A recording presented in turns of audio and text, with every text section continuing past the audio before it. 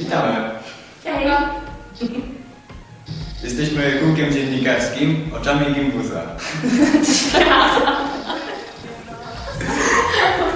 I oglądamy świat oczami Gimbuza. No tak. My, tak, my oglądamy świat oczami Gimbuza, a wy oglądacie pierwszy odcinek naszego vloga. Jak pewnie wiecie, jesteśmy z gimnazjum w Określeńcu i postanowiliśmy przedstawić wam kilka najciekawszych osób z tej szkoły poprzez serię wywiadów z nimi.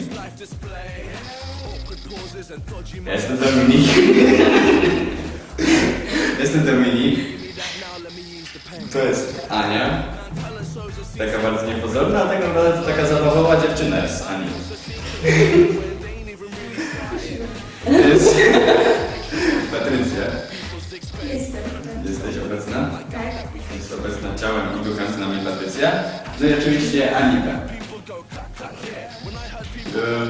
Do naszego składu wchodzi również Oliwia, którą serdecznie pozdrawiamy. W następnym odcinku na pewno ją bliżej poznacie. Oliwia to też bardzo fajna dziewczyna. Powiedz to, bo ja tak nie wiem. Na pierwszy ogień przeprowadziliśmy wywiad z Dominikiem Grabowskim. Wtedy w tym wywiadzie dowiecie się o nim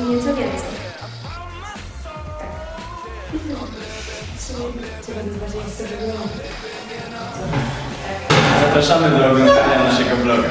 Pozdrawiam. Jestem Oliwia, nie było mnie tydzień temu, ale już jestem. Fajnie.